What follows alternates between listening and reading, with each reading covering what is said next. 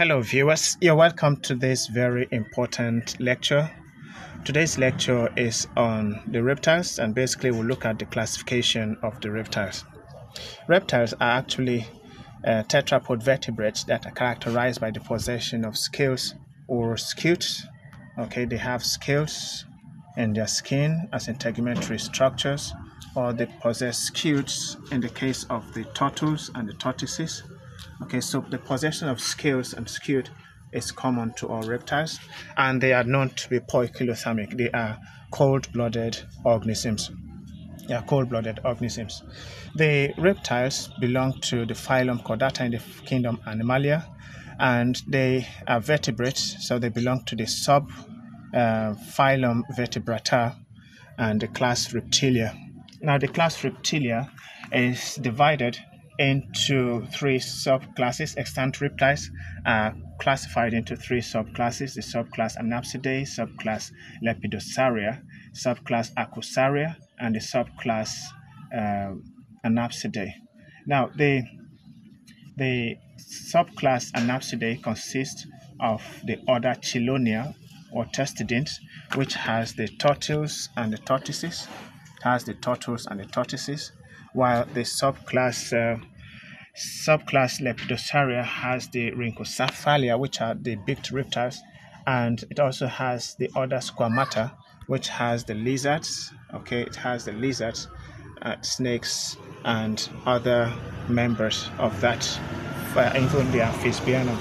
Now, the lizards belong to the the lizards belong to the suborder Sauria, while the snakes belong to the suborder Serpentes.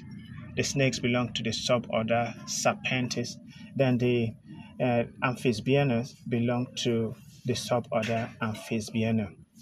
Then we also have the uh, subclass Archosauria, which has the order Crocodilia, which has the crocodiles, the crocodiles, the uh, the crocodiles, the gravios, and many of that species they belong to the other crocodilia okay?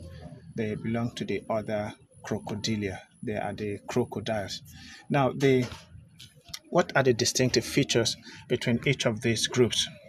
Now the other chelonia and the subclass anapsidae consist of the turtles the tortoises and other uh, known members. Now, the turtles and the tortoises and the other chelonia are known to possess shells and the shells possess scute.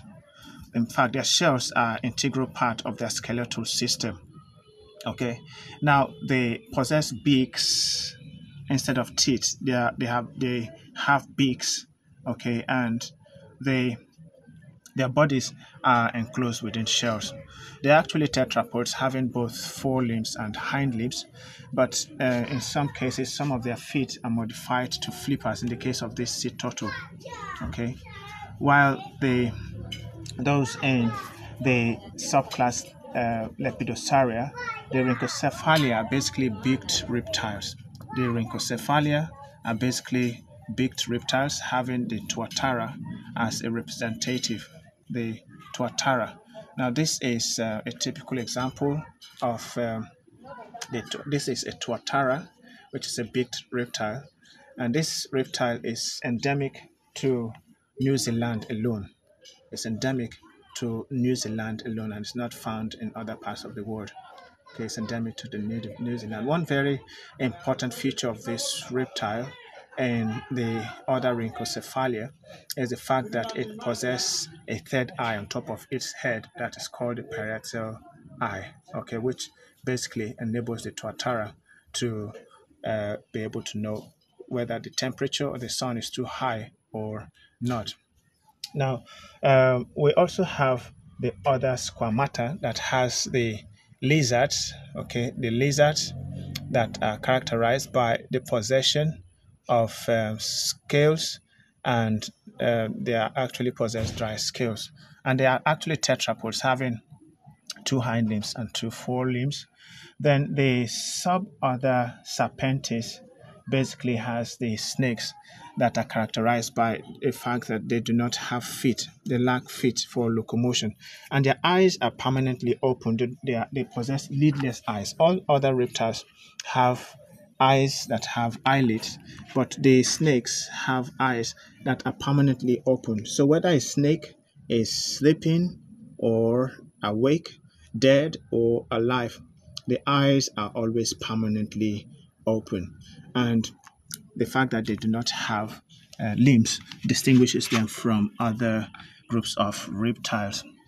Then the amphisbaena are snake-like uh, reptiles, but they are sometimes some of them have some kind of rudimentary feet, some kind of small feet, and uh, basically they are they have annula like those of the earthworms, but they're actually reptiles, not common to uh, Africa anyway.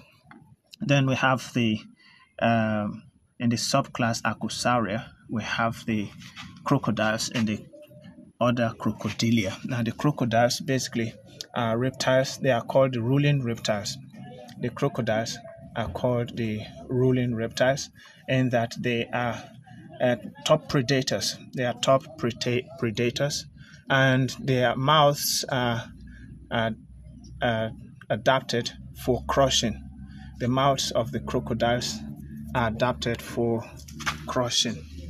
And one very unique feature of the crocodiles is that they, their nostrils and their eyes are adapted for their way, their pattern of feeding, in which the mouth, the, the, the nostrils are the tip of the snout and the eyes are also on top of the head so that this, the crocodile can lay an ambush and also be able to capture their prey. So far, we've been able to look at the classification of reptiles. I believe you must have learned one or two things from this very important lesson that we have uh, had on the classification of reptiles. Thanks for watching and please watch, watch more of my videos and you'll be glad you did. Thanks for watching.